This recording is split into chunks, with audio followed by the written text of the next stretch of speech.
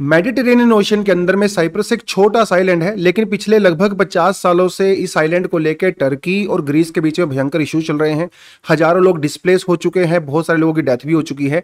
लेकिन अभी टर्की के प्रेसिडेंट ने यह उम्मीद जताई है कि शायद इस प्रॉब्लम का सोल्यूशन हम लोग निकाल सकते हैं। देखिए, वैसे तो टॉपिक आईआर का होता है इंटरनेशनल रिलेशन का होता है, लेकिन यूपीएससी के परस्पेक्टिव से हम लोग आईआर से ज़्यादा ज्योग्राफी के ऊपर फोकस करने वाले हैं, क्योंकि प्रिलिम्स में ज्योग्राफी रिगार्डिंग क्वेश्चन ज़्यादा आते हैं आईआर सेक्शन से। पहले अपना थोड़ा सा लोकेशन देखिए, ये साइप्रस है, ये दो हिस्सों में बटा हुआ है नॉर्थ वाला हिस्सा और साउथ वाला हिस्सा। साउथ वाला जो हिस्सा है, ये ग्रीस के कंट्रोल में है और जो नॉर्थ वाला हिस्सा है, ये टर्की के कंट्रोल में है। देखिए, जब भी दो कंट्रीज़ के बीच में इस तरह के इश्यूज़ होते हैं तो उसके पीछे डेफिनेटली एक हिस्टोरिकल बैकग्राउंड होती है। लगभग 2000 साल पहले ग्रीस की मेन लैंड से कुछ लोग आके साइप्रस आइलैंड के ऊपर सेटल हो गए थे।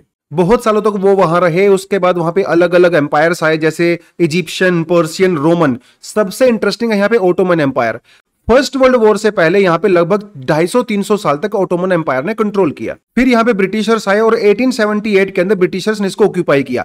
हालाँकि फ़र्स्ट वर्ल्ड वॉर से पहले ब्रिटिश इसको ऑक्यूपाई करता था, लेकिन ज़्यादातर कंट्रोल इसके ऊपर फिर भी ऑटोमन एम्पायर का ही हुआ करता था। सेकेंड वर्ल्ड वॉर के बाद साइप्रस में इंडिपेंडेंस के लिए मूवमेंट चली और फाइनली 1960 के अंदर ब्रिटेन ने इसको इंडिपेंडेंट डिक्लेयर कर दिया। और जो सारा झगड़ा एक्चुअली इसी के बाद शुरू हुआ, क्योंकि मेजोरिटी जो लोग इस आइलैंड पे रहते हैं, वो ग्रीस एथनिसिटी के हैं और बहुत ही कम लोग जो है, वो टर्किस एथनिसिटी के रहते हैं।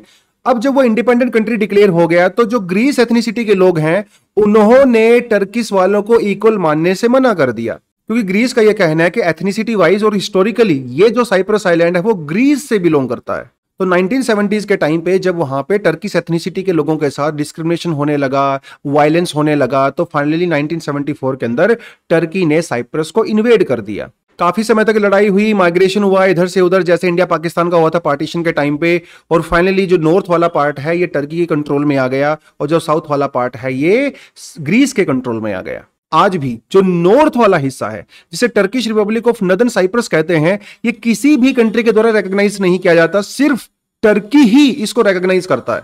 लेकिन जो साउथ वाला हिस्सा है, जिसे रिपब्लिक ऑफ़ साइप्रस कहते हैं, ये मोस्टली हर कंट्री के द्वारा रिकॉग्नाइज किया जाता है और यूरोपियन यूनियन का मेंबर भी है। लेकिन सवाल ये उठता है कि भैया हम इनके झगड़े में क्यों पढ़ रहे हैं? हम इसके झगड़े में इसलिए पढ़ रहे हैं क्योंकि जियोग्राफिकली ये काफ़ी ज़्यादा इंपॉर्टेंट टॉपिक होता है यूपीएससी स्पेशली प्रीलिम्स के लिए। तो इसकी लोकेशन हमारे लिए बहुत इंपॉर्टेंट हो जाती है। आप क्लियरली यहाँ पे देख भी सकते हैं। जो साइप्रस की लोकेशन आप यहाँ पे देखिए जरा, ये मेडिटेरेनियन ओशन के ईस्टर्न वाले पार्ट में है। तो वो एग्ज़ाम में आपसे पूछ सकता है कि which of the following statements are true about the Cyprus तो ध्यान रखना है, ये ईस्टर्न मेडिटेरियन के अंदर है।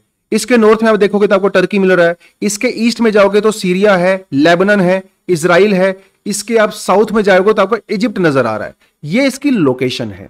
इकोनॉमी की बात करें तो 2004 के अंदर साइप्रस यूरोपियन यूनियन का पार्ट बन गया। 2008 के अंदर इसने यूरो करेंसी को भी अडॉप्ट कर लिया था। ज़्यादातर ये टूरिज़्म बेस्ड इकोनॉमी है और साइप्रस को बहुत बार लोग टैक्स हेवन के रूप में भी देखते हैं, क्योंकि यहाँ पे टैक्सेस वगैरह बहुत कम होते हैं। तो बस दोस्तों यूपीएससी के परस्पेक्टिव से इतनी इन्फॉर्मेशन आपके लिए सफिशेंट होती है। ज्योग्राफी वाले परस्पेक्टिव से आईआर वाले परस्पेक्टिव से तो आज इस वीडियो को हम लोग यहीं पे एंड करते हैं। Thank you very much all the best जय हिंद